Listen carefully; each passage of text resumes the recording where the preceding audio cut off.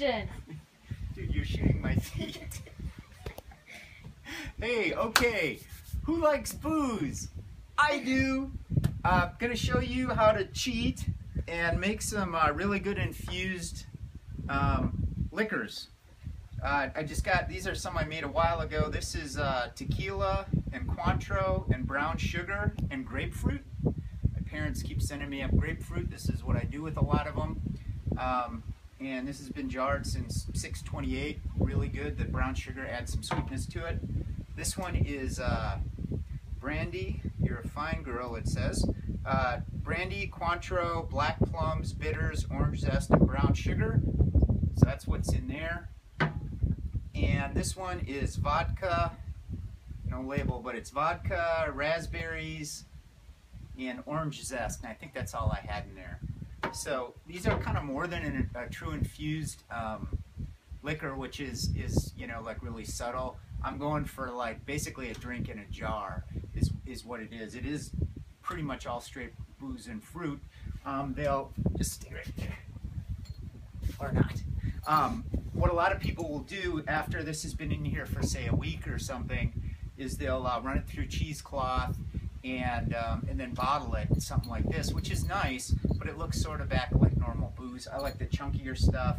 Um, we'll take it to parties or, or uh, fires or um, weddings, and we'll just sit and sip out of the jar, pass it around, eat the fruit. So that's good. Uh, today we're going to do uh, grilled pineapple and nutmeg infused rum.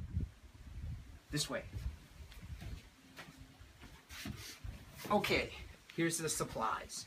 Um, I've been using these this size jar lately. The smaller jars work too. Um, evidently, when you're when you're uh, actually canning stuff, you boil all this, um, and, and you know that's all important. I don't think with the booze it's that important based on what I've been able to research. I'm not making preserves, although we'll preserve you. Um, so you need jar and um, nutmeg is one of the ingredients. This is, we've got this huge jar of nutmeg that we brought back. Uh, we brought back a whole bunch from Grenada. I don't know if you can even buy whole nutmeg, um, but maybe you can. If you live by me, let me know. I'll get you some. Um, but one of the things we're going to do is just kind of crack that in half. I'll take the chunk that didn't fall on the floor. Actually, that's kind of small. I'll take the chunk that fell on the floor. So inside this is a nutmeg and that usually gets grated. Um, I've been told not to use grated nutmeg in the in, in a infusion like this. It just gets messy. So I use, uh, stand by, this is a perfect size. I'll use a chunk of nutmeg like that. It stays all in one place. Oh, does that smell good? Ah, I love it. Um, okay, as far as pineapple goes, um, I'll show you an easy trick to peel pineapple. Which what you do to peel a pineapple is you grip it right here and you pull back like this and this piece comes right off and then, you take it like this and just that quickly it's peeled and cored. I actually, always buy them this way because I can never seem to guess when a pineapple is ready to go. So, uh, as far as ripeness goes, so I'm just cutting some slices. There you go. La la la. Da da da. This is more pineapple probably than we need. We'll eat some of that.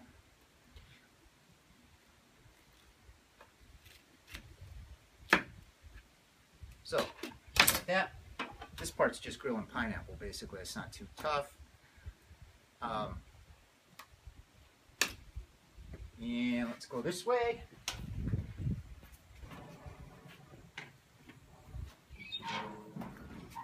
Get a little closer, why don't you? All right, so uh, the grill is pretty hot. I don't want to cook these real long. Um, I just want to blacken them a little bit. It, it gets them to caramelize, and, and that that's makes it even a little sweeter in the drink, which is nice. And uh, and it gets that smokiness.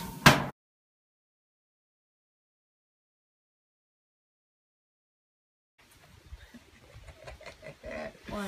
So, uh, nothing. Uh, so, okay, grilled them up like this. Like I said, they're not super soft. They're still pineapple-y, but we just wanted to get a little bit of that black in there. And then, um, I cut them up into smaller chunks now. I used to go like with, you know, like as close to whole slices as possible. I do chunks like that size now. Uh, the pineapple, people usually really like it. The booze, interestingly enough, anchors itself in the fruit.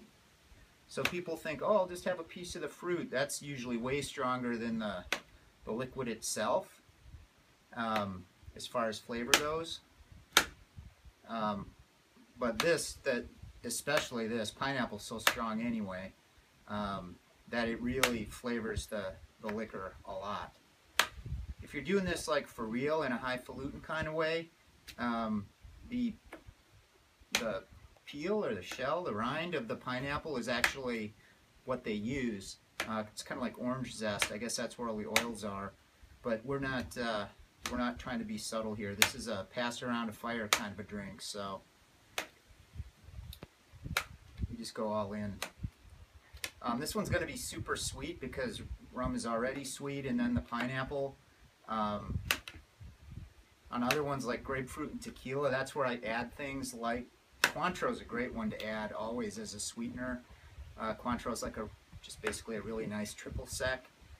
Um, all right, so I don't know if I can recommend a mauve knife ever. That's what was available. Okay, so first thing, I just throw the fruit in to the jars. Just do one here for now.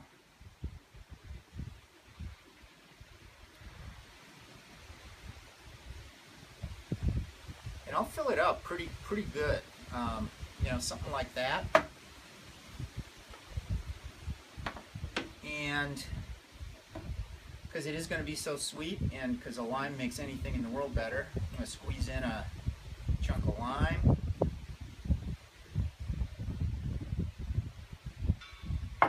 And then, uh, let's see what else we got here. Go with some rum. This plantation rum, by the way, obviously I don't get paid to say anything, but this is a phenomenal rum. $23. It's not priced much higher than any other, um, you know, kind of normal rum. I think it's fantastic. Um, oh, and it's got a cork, and listen, listen to this. That's the good stuff. Can't normally advise against or advise for any kind of booze that has extra crap on the bottle. This is an exception. This is really good rum. Dump it in. I might just for fun add a little Myers dark rum, which is only going to make things even sweeter, but so it goes. A little bit of that, little extra ingredients. Um, bitters are awesome. Angostura is good. There's a lot of all kinds of new bitters too, but a little bit of bitters in any drink, any fruit tropical drink adds a little complexity and a little yumminess. What else? That's it. I'm going kind of simple with this one because the pineapple is already bringing so much to it. I fill it to the top. Screw the cap on. Really good and tight. Oh, geez, I forgot the nutmeg. The key part. Chunk of nutmeg. Bloop. Then screw the cap on give it a, a, few rotations like that. I'll put it in the fridge. Um, within a week, this will be pretty delicious, but within a month, it'll be really delicious. Um, this one's going to be a super sweet one, so you might want to cut it with something while you're drinking it or just pass it around. Um, I would suggest doing this every couple of days in the fridge. Um, that's it. Is that it? Mm-hmm. that's it. Cheers.